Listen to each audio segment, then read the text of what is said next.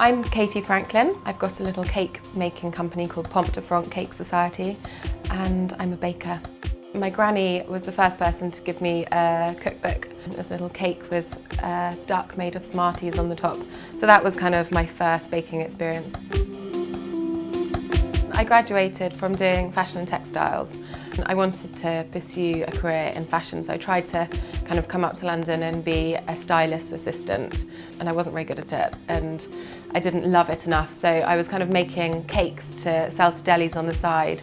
The processes of design are similar whatever you're doing it in. Being inspired by an artist's work and finding the colour and then the structure and then trying to translate it into my own style of cakes. For example, this is uh, Thomas Sabo, he's a jewellery designer. They had these new charms that they wanted to promote, so I decided to make some fortune cookies that I made in a rose gold. And then um, inside I made these edible charms that looked exactly like the Thomas Sabo ones.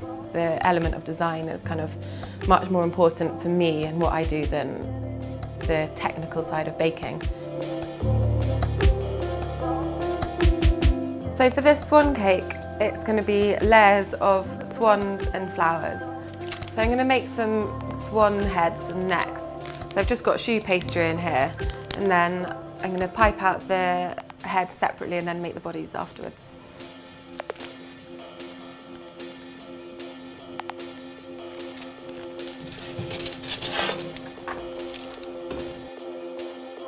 These are the swan's bodies and you just slice them in half and you just dip it in white chocolate. Push them in there and then they dry like that. Um, this is actually cream cheese icing, but whipped double cream is probably better because it's not as sweet. So then to paint their faces, you just give them a little beak. Um, and I'm going to give them a little red chocolate one as well. And then some eyes. So the final stage is to put the swans on the cake.